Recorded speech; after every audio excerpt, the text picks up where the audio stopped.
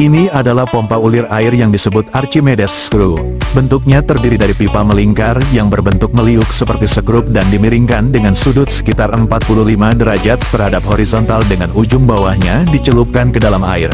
Ketika sekrup diputar, ujung bawah mengambil sejumlah air, yang kemudian mendorong sekrup ke atas seiring dengan putaran poros.